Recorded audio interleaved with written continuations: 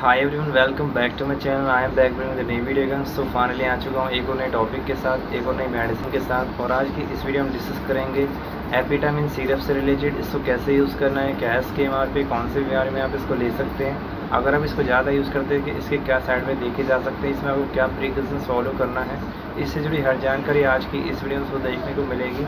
तो video and से देखें और चैनल पर चैनल को सब्सक्राइब भी कर लें। साथ ही में बेल आइकन बटन है, उसको प्रेस ज़रूर करें।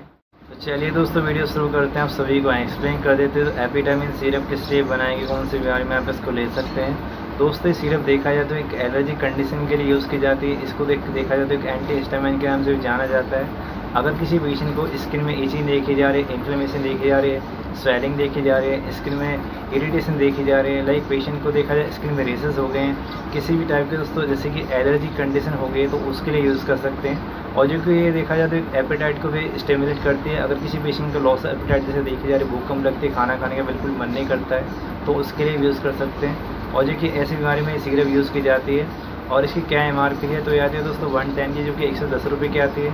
इस सिरप को गैस आप कैसे यूज़ कर सकते हैं? अगर आपको ऐसे प्रॉब्लम देखी जा रहे हैं तो इसके लिए आपको क्या करना है? पहले बोतल को सेक कर लेना है। और इसमें आपको फाइव एम आपको इसमें सिगरेट यूज़ करना है। फाइव एम बोतल यूज़ करना है, जो कि खाने के आधे घंटे के बाद ले सकते हैं। और अगर आप इस सिरप को ज़्यादा यूज़ करते हैं, इसके क्या साइड पर देखे जा सकते हैं? तो इसमें आपको डिजीनेस देखी जा सकती है हेड देखी जा सकता है।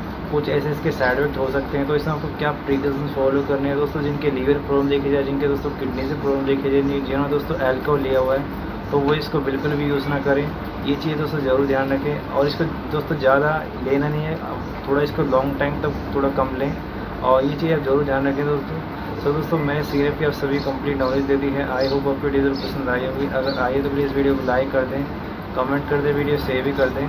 और अगर चैनल पे चैनल को सब्सक्राइब भी कर लें, साथ ही बेल आइकन बटन है तो प्रेस ज़रूर करें। तो मिलते हैं एक नए टॉपिक के साथ, एक नए मेडिसिन के साथ, और वीडियो को देखने के लिए आप सभी से दे से धन्यवाद। इस वीडियो को हम यहीं पे एंड करते हैं। So thank you thanks for watching this video